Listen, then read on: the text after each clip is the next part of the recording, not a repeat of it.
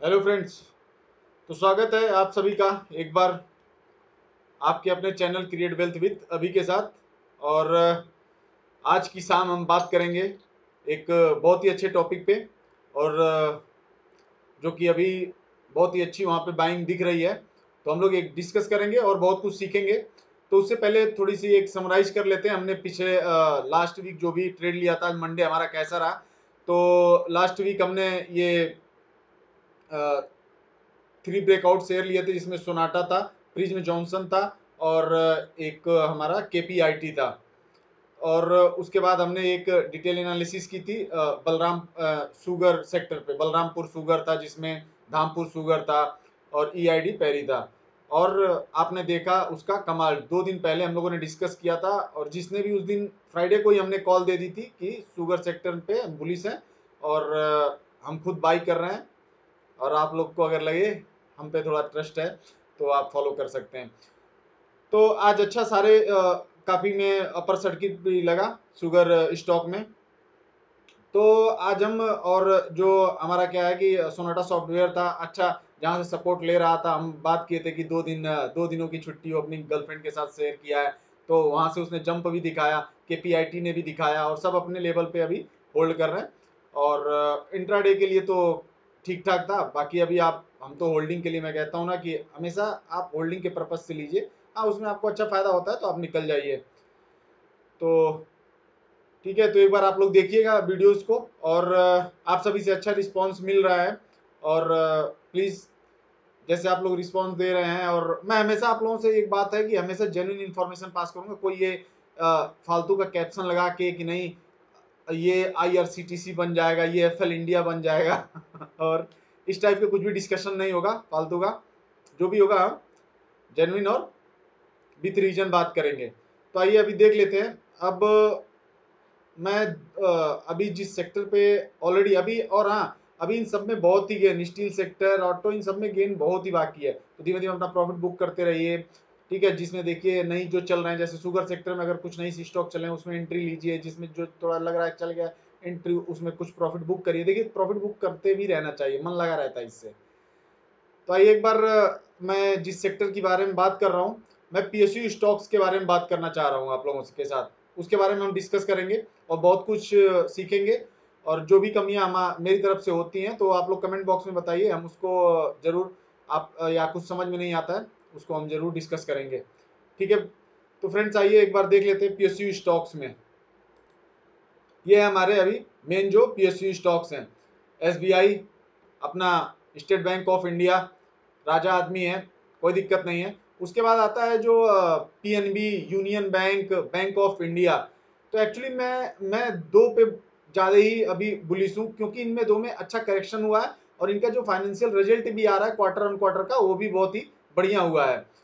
तो पहला है यूनियन बैंक और दूसरा है बैंक ऑफ़ इंडिया। इन दोनों पे मुझे बहुत ही जो मेरा व्यू है वो काफ़ी बुलिश नज़र आ रहा है। बाकी आप लोग अपना जो भी एनालिसिस है और जो भी आपका रिएक्शन होगा वो प्लीज़ एक बार बताइएगा कि आप लोग को क्या लगता है इनमें से कौन सा फाइन है।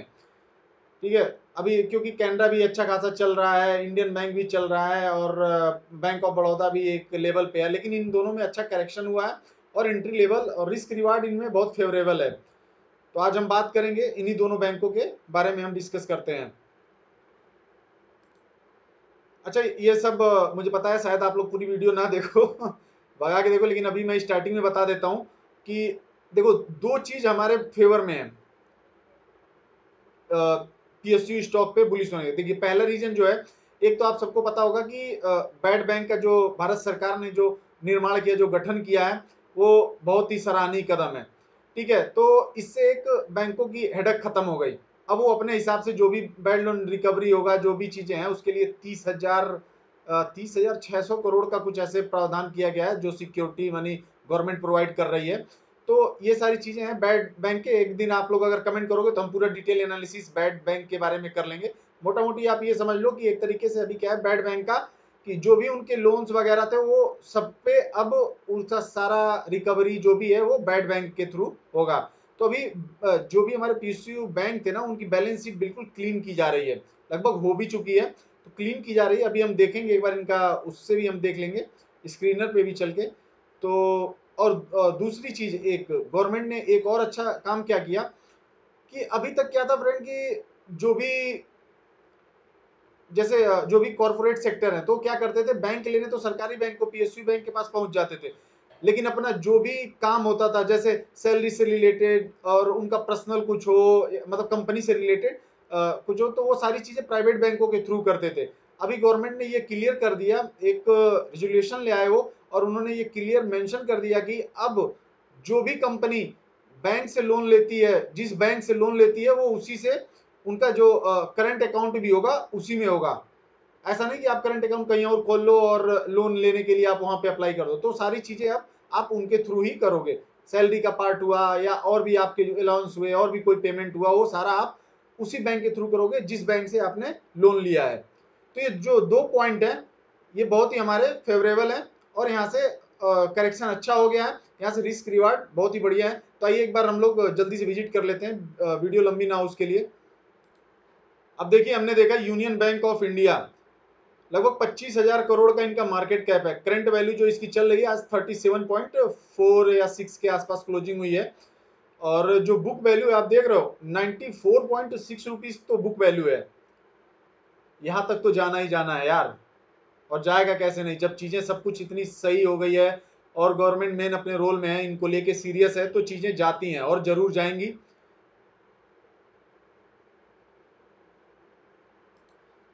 अब आप देखो इसको थोड़ा क्वार्टर एंड क्वार्टर देखना ज़्यादा ज़रूरी है। अभी आप इधर देखोगे, इनका देखो, दिसंबर टू ट्वेंटी में सत्रह हज़ार दो सौ बीस करोड़, मार्च ट्वेंटी वन में पंद्रह हज़ार छह सौ बाईस और जून ट्वेंटी वन में सत्रह हज़ार दो सौ, लगभग अस्सी उन्यासी करोड़ के आसपास इन्होंने रेवेन्यू जनरेट किया। इसमें आप इनके प्रॉफिट अगर देखोगे तो जो नेट प्रॉफिट निकल के आ रहा है, वो एक हज़ार दो सौ उनहत्तर करोड़ और ग्यारह सौ बीस करोड़ का इनका नेट प्रॉफिट है। तो इधर देख रहे हो, अब ये क्या है बैंक अच्छा प्रॉफिट में आना स्टार्ट हो गया। इधर आप देखोगे माइनस में इनका रिज़ल्ट जा रहा था। अभी ये प्रॉफिट में अच्छा ग्रोथ दिखाना स्टार्ट कर दिए हैं। तो और अगर आप इसी को एनुअल बेसिस पे भी एनुअल भी अगर आप कंसीडर करोगे तो ये देखो एनुअल में भी नेट प्रॉफिट जो है, वो ये देखो, जो चारों क्वार्टर का मिला के था, March two thousand twenty one का तो दो हज़ार आठ सौ तिरसठ करोड़ का जो टोटल प्रॉफिट हुआ जो कि ये माइनस में था। अभी ये प्लस में और अच्छा प्लस में हो गया है। तो ये आप देख लीजिए अभी क्या है कि स्थिति सुधरती हुई मतलब बहुत हद तक सुधर चुकी है स्थिति। अभी अब कोई ऐसा कोई खतरा दिख नहीं रहा है।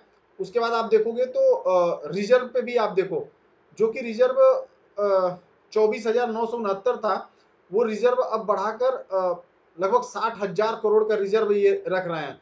बारोइंग देखिए, इनका कर्ज देना, लेना और ये चीज़ें हैं तो बारोइंग की कोई दिक्कत है नहीं। लेकिन अभी जो आप देख रहे हो रिज़र्व वो साठ हज़ार, अट्ठावन हज़ार दो सौ सत्ताईस करोड़ का रिज़र्व रख रहे हैं। मतलब रिज़र्व सीधे डबल कर दिया है। तो ये चीज़ थी। उसके बाद आप प्रमोटर होल्डिंग पैटर्न आप अगर एक बार देखोगे तो प्रमोटर होल्डिंग में जैसे इधर एफ़ ने इंटरेस्ट खत्म कर दिया था एफ़ ने भी इंट्री इसमें ली है। और जो प्रमोटर्स हैं प्रमोटर्स के पास भारत सरकार जो इसके मेन वो है तो ये अच्छी खासी वो भी है। और जो पब्लिक है, इनके पास भी ये सात परसेंट आठ परसेंट पब्लिक के पास है। तो फंडामेंटली अब सब कुछ बढ़िया हो गया है और ठीक है, ऐसे ही है, उसका हम टेक्निकल देख लेंगे। बैंक ऑफ़ इंडिया का भी ठीक हो है वीडियो लंबी हो जाएगी। अगर आप कहोगे तो उसके बारे में भी हम देख लेंगे। तो एक बार फटाफट हम इसका टेक्निकल देख लेते हैं। अभी आप अगर इससे देखोगे आप अगर देखोगे तो इसने 200 hundred E M A twenty M A fifty M सबको क्रॉस करके निकल चुका है। ठीक है, एक छोटा मोटा डिब्बी आ सकता है कंसल्टेशन के लिए तो उससे हमें घबराना नहीं है। अब एक बार हम अगर सारी चीज़ें रिमूव कर देते हैं तो आप अगर इनका इनका लाइफ टाइम अगर आप हाई देखोगे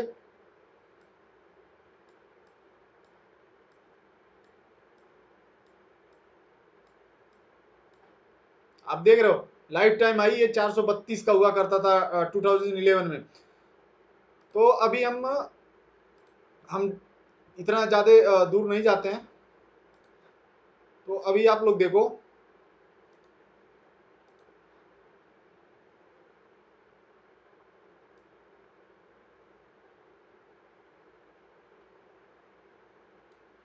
ये दो स्टॉप लॉस आप लोगों को ध्यान में रखने हैं। एक, ये जो स्टॉप लॉस है 32.95 का, या इसी को मेन लेके चलिए। वैसे तो हम एक ये जो 34 का जो स्टॉप लॉस है, ये भी बहुत स्ट्रॉन्ग सपोर्ट पे है। मुझे लगता है ये इसको भी ब्रेक नहीं करेगा। मतलब नहीं करना चाहिए। करेगा तो करने को तो ये कुछ भी कर लेगा, मेरी कौन सा सुनेगा। लेकिन करना नहीं चाहिए। और लॉन्ग टर्म का अगर आपका व्यू है तो ये वाला स्टॉप लॉस स्ट्रिक्टली फॉलो करो इस स्टॉप लॉस को। ठीक है, मैं खुद भी फॉलो करूँगा। मैं बोलता हूँ ना स्टॉप लॉस अच्छा नहीं लगता बट इसको हम, मैं खुद भी फॉलो करूँगा।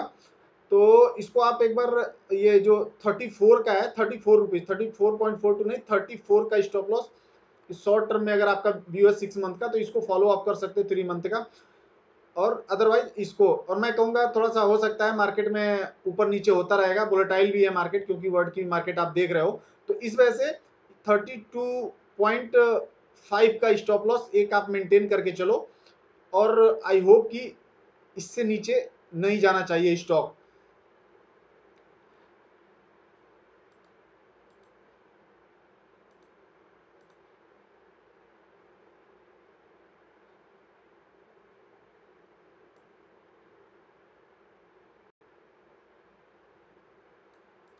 इसमें आप देखोगे तो एक ये ये छोटा छोटा हैंडल का ब्रेकआउट दिया सस्टेन नहीं किया। फिर से,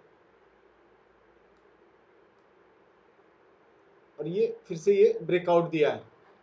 तो अभी हमें अगर हम देखते हैं, अगर, इसको कंसीडर कर लेते हैं राइट राइट हैंड तो ये एक, जो ये कब बन रहा है, अभी जो लेटेस्ट में जो हमारा टारगेट निकल के आएगा, आपको मैं बताता हूँ जितना बड़ा कप होगा,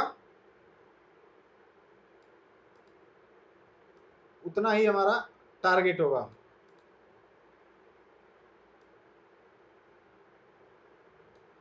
अभी भी जो हमारा टेन परसेंट ये थर्टी वन के लेवल तक का है, लेकिन हमें इस छोटे से उसको नहीं फॉलो करना है। हमें फॉलो करना है, इसको हम पूरा हम इसको फॉलो करेंगे।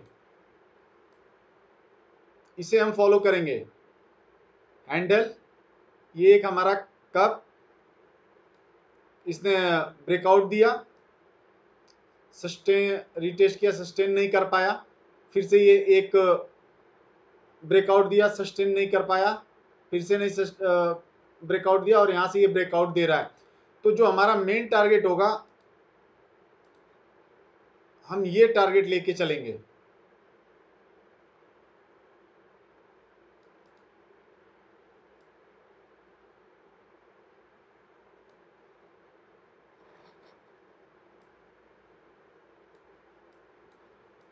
फोर्टी परसेंट का जो अभी ये हमारा टारगेट निकल के आ रहा है और प्राइस 51 का निकल के आ रहा है। ये मुझे लगता है कि ये तीन से छः महीने लगने चाहिए इसमें, क्योंकि जो कंसोलिडेशन का टाइम है वो काफ़ी हो चुका है और थ्री से सिक्स मंथ में ये हमारा फोर्टी परसेंट निकल के आएगा।